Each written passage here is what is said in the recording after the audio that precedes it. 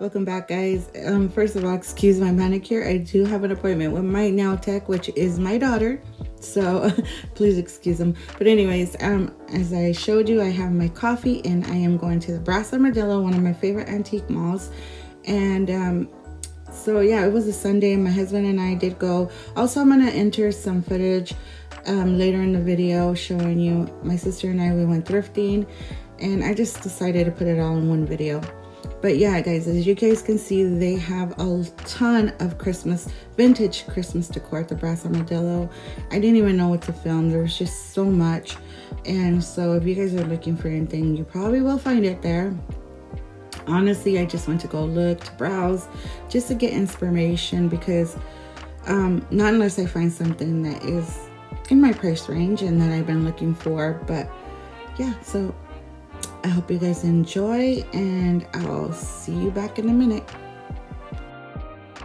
And Gail, I do apologize. I do not know how I didn't, I don't know how I didn't mention you. But thank you, Gail. I do appreciate you.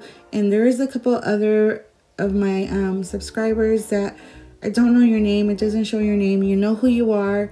But I do appreciate you as well. Thank you guys all, every single one of you guys. You guys are the best. And if you guys, um, if it doesn't show your name, please leave your name. So I do feel like you guys are friends. And yeah, it'll be nice to know you guys by your name, by your first name. Thanks, guys. $175 for the vintage Santa was a great deal. I just don't know where to put him.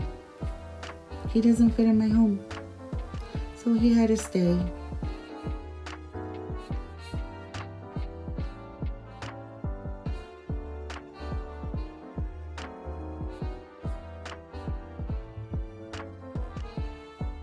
We did go to Goodwill's. There is a couple of Goodwills um, down the road. And the reason being is I was looking for a vintage tree skirt. I was in a hunt for one. And I did find one. I found one later on in the week at St. Vincent de Paul. And I left it to think about it. When I sent my sister back, it was gone. So that was my fault. I can't find anything else that I would have liked more than that one. But I didn't find it. And the Goodwill prices were just so high. So I did make my simmer pot. It smelled so good. I do recommend for you to try it. It is, I just used what I had, oranges, um, ground cinnamon, a cinnamon stick, cloves. I didn't have apples. I used apple juice and I used vanilla extract and it smelled so amazing. Okay, I am with my sister and we are headed to St. Vincent de Paul. But first we're gonna drop off Sophia at work. They do have a Goodwill here, so we might stop. I don't know if my sister wants I'm to. I'm okay right here. She's yeah. driving. Over here,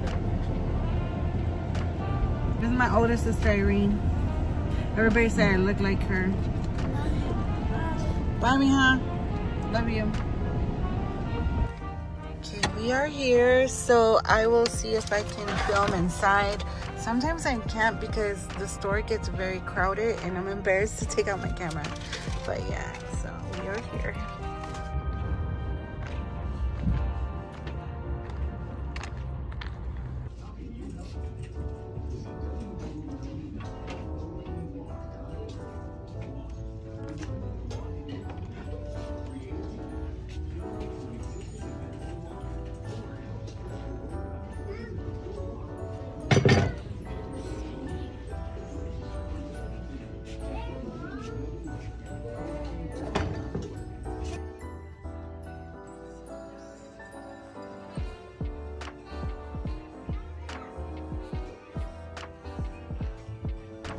So they didn't have nothing, so we're leaving.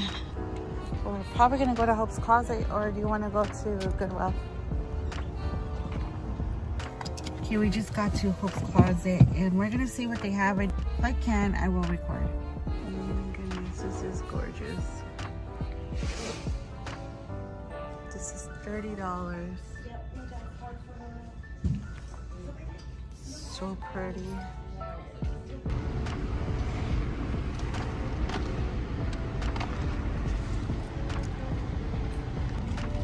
We're got we got the feta wraps, two feta wraps and the water. Can we please show my sister some love?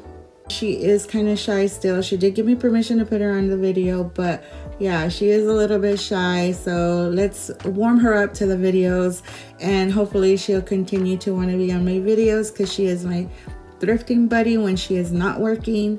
So yeah, come on, Irene. It's all right. We're all friends here.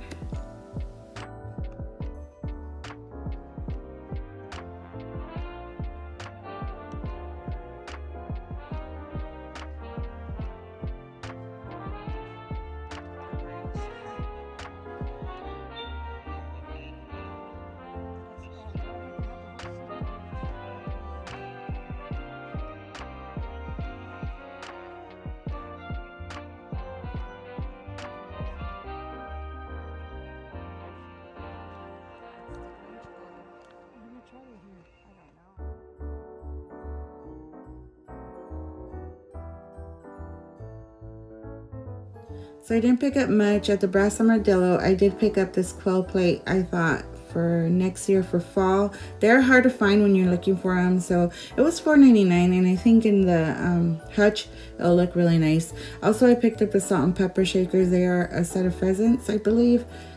I think so, but I they are by Lenox and I really like them. So I did pick those up. And that is it for the Brass Armadillo. I didn't pick up anything thrifting, surprisingly. But I did go back a week later for the coffee table and it was there and it was 50% off. So I brought it home for $15. And because of my Christmas decor, I needed something smaller and this is just perfect.